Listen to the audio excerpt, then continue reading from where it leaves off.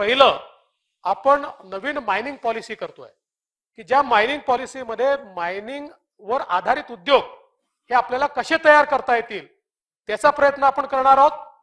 आणि दुसरं ही जी काही आपण सबसिडी दिलेली आहे याच्यामध्ये नव्याने बदल करून तो कशा प्रकारे आपल्या उद्योगांना पूरक आणि बाजूच्या राज्यांशी आपल्याला कशा प्रकारे स्पर्धा करता येईल याचाही प्रयत्न आपण या माध्यमातून करणार आहोत. ह्या उद्योग चलनामध्ये जर मोठ्या प्रमाणात जर निर्माण करायचं असेल किंवा भर द्यायचं असेल किंवा नवीन उद्योग निर्माण करायचं असेल तर विद्युत दरामध्ये नक्कीच सवलत द्या द्यायला पाहिजे अशी माझी विनंती अध्यक्ष महोदय. अध्यक्ष महोदय सन्मान्य सदस्य नरेंद्र बोंडेकरांनी एक अत्यंत महत्त्वाचा विषय या ठिकाणी मांडलेला आहे. मी केवळ एवढंच आपल्या लक्षात आणून देतो की ही जी काही गोष्ट आहे की दहा उद्योग बाहेर गेले तीस उद्योग बंद पडले ही वस्तुस्थिती आहे. परंतु आपण जर बघितलं तर हे जवळपास नव्याण्णव पासनाचे उद्योग आहेत. म्हणजे जे बंद पडले किंवा बाहेर गेले हे आपण बघितलं तर नव्याण्णव दोन हजार दोन दोन हजार तीन दोन हजार पाच दोन हजार सहा मध्ये दोन दोन हजार तेरा आणि दोन हजार चौदा या दरम्यान ते उद्योग बाहेर गेलेले आहेत. त्यामुळे ते काही आत्ता लगेच आत्ता हे बाहेर गेले किंवा बंद पडले असं नाहीये.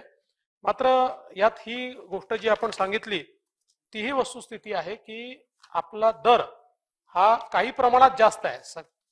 आपण जर कंपॅरिझन त्या ठिकाणी दिलं तर महाराष्ट्राचा दर हा आठ रुपये अठ्ठेचाळीस पैसे आहे. तमिळनाडूचा आपल्यापेक्षा जास्त आहे तो आठ रुपये शहाण्णव पैसे आहे. मध्य प्रदेशचा आपल्यापेक्षा मार्जिनली कमी आहे तो सात रुपये एक्क्याण्णव पैसे आहे. कर्नाटकचा आपल्यापेक्षा जास्त आहे तो दहा रुपये तेरा पैसे आहे. आंध्र प्रदेशचा आपल्यापेक्षा मार्जिनली कमी आहे तो सात रुपये सदतीस पैसे आहे. पण छत्तीसगडचा आपल्यापेक्षा बराच कमी आहे. तो जवळजवळ एक रुपया ऐंशी पैशाने आपल्यापेक्षा कमी पडतो. तो सहा रुपये पंच्याण्णव पैसे आहे आणि गुजरातचा सात रुपये त्रेचाळीस पैसे आहे. मात्र आपला जर दर हा जरी आठ रुपये अठ्ठेचाळीस पैसे असला परंतु हा जरी आपला दर जास्त असला तरी आपण खूप सवलती दिलेल्या आहेत. उदाहरण आपण त्या ठिकाणी द्यायचं झालं तर जे काही टाइम ऑफ द डे म्हणजे रात्रीच्या कालावधीत जे वीज वापर करतात कारखाने त्यांना आपण प्रति युनिट दीड रुपयाची सवलत देतो. लोड फॅक्टर जे आहे म्हणजे ज्यांना जेवढा लोड दिलाय तेवढाच लोड त्यांनी वापरला ऍडिशनल वीज जर घेतली नाही तर त्यांना पंधरा टक्क्यापर्यंत सवलत देतो.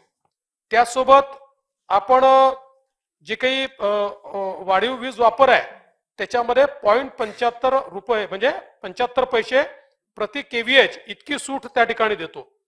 त्यानंतर ठोक वीज वापर सवलत आपण दोन टक्क्यापर्यंत देतो. एका पाळीत चालणाऱ्या उच्चदाब औद्योगिक ग्राहकांचा स्थिर आकारात सवलत चाळीस टक्के आपण देतो. आणि त्वरित बिल भरणा करणाऱ्यांना आपण एक टक्का सवलत देतो. म्हणजे आपण जर एकूण याचा विचार केला तर उदाहरणादाखल पंधरा टक्क्याची जी आपण लोड फॅक्टरची सवलत देतो ही तमिळनाडू मध्य प्रदेश आंध्र प्रदेश गुजरात या कुठल्याही राज्यामध्ये नाही आहे. किंवा त्वरित बिल भरणा सवलत ही देखील तमिळनाडू आंध्र प्रदेश छत्तीसगड गुजरात या कुठल्याही राज्यात नाही आहे. त्याचप्रमाणे आपण एक लाख रकमेच्या वरील ग्राहकांना देय रकमेच्या पॉईंट ट्वेंटी फाईव्ह पर्सेंट पर्यंत आपण सवलत ही त्या ठिकाणी देत असतो. आणि म्हणून ज्या ठिकाणी योग्य प्रकारे वीज वापरली जाते त्यांना हा इफेक्टिव्ह रेट बराच कमी पडतो. जवळपास छत्तीसगड किंवा त्याहीपेक्षा कमी हा इफेक्टिव्ह रेट पडतो. हे सगळं करण्याचं कारण असं आहे की आपल्याला त्यात शिस्त देखील लावण्याची आवश्यकता आहे. आता मुळात छत्तीसगडशी जर आपण कंपॅरिझन केलं तर त्यातला एक आपला प्रॉब्लेम असा आहे की छत्तीसगड मधले सगळे जे त्यांचे वीज निर्मितीचे प्रकल्प आहेत हे पीठ हेडवर आहे कारण छत्तीसगड हे कोळशाची खाण आहे आणि पीठहेडवर आहे. आणि आपल्याकडचे काही पीठहेडचे काही कोळसा खाणीच्या जवळचे आहेत पण त्या खाणीतला कोळसा याचा ग्रेड फार कमी आहे. आता आपल्यालाही छत्तीसगडच्या खाणीतनच कोळसा मिळणार आहे तो मिळाल्यानंतर आपले आपण आपण स्वतःची आपली माईन मागच्या काळात घेतली त्याचं आपलं पुढच्या वर्षीपर्यंत प्रोडक्शन सुरू होईल. आणि त्यानंतर मात्र कोळशाचे दर एकदम आपल्याला कमी पडतील.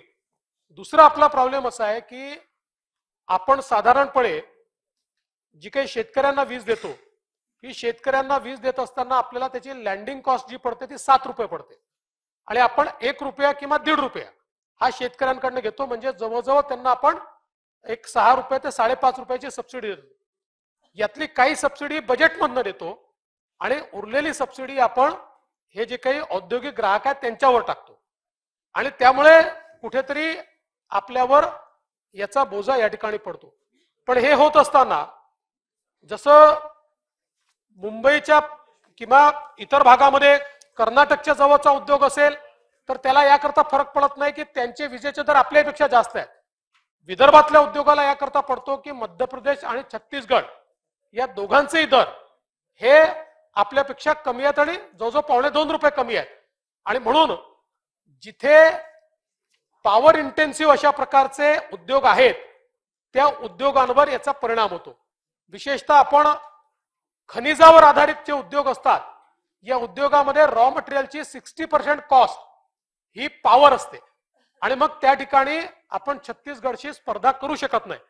आणि म्हणूनच मागच्या काळामध्ये आपण एक विदर्भ मराठवाडा पॉवर सबसिडी आणली होती. की ज्या पॉवर सबसिडीच्या माध्यमातून आपल्याला कॉम्पिटेटिव्ह रेट हे त्या ठिकाणी देता येतील. मागच्या सरकारने त्याच्यामध्ये काही बदल केलेले आहेत. त्याचं कॅपिंग केलेलं आहे. आता पुन्हा माननीय मुख्यमंत्र्यांची आम्ही चर्चा केली आणि त्याला थोडासा त्याच्यामध्ये बदल करून पुन्हा ती कशी सुटेबल करता येईल की जेणेकरून खनिजावर आधारित उद्योग आपल्याकडे करता येतील. कारण आपल्याच भंडारा जिल्ह्यामध्ये मागच्या काळात मॅग्नीसचा एक प्रकल्प होता. जो त्या काळात आठ हजार लोकांना नोक रोजगार द्यायचा पण गेल्या पंधरा वर्षापूर्वी केवळ विजेच्या कारणाने तो बंद पडला आणि आजही तो बंद आहे. हे सगळी खनिज संपदा आज आपल्याकडे आहे. आणि म्हणून दोन गोष्टी याच्यामध्ये आपण करतोय. पहिलं आपण नवीन मायनिंग पॉलिसी करतोय. की ज्या मायनिंग पॉलिसीमध्ये मायनिंग वर आधारित उद्योग हे आपल्याला कसे तयार करता येतील त्याचा प्रयत्न आपण करणार आहोत. आणि दुसरं ही जी काही आपण सबसिडी दिलेली आहे याच्यामध्ये नव्याने बदल करून तो कशा प्रकारे आपल्या उद्योगांना पूरक आणि बाजूच्या राज्यांशी आपल्याला कशा प्रकारे स्पर्धा करता येईल याचाही प्रयत्न आपण या माध्यमातून करणार आहोत. हे सांगत असताना मला एका गोष्टीचा आनंद आहे की मागच्या काळामध्ये आपण प्रयत्न केला आणि गडचिरोली जिल्ह्यामध्ये आपण लोह खनिजाचं मायनिंग सुरू केलं.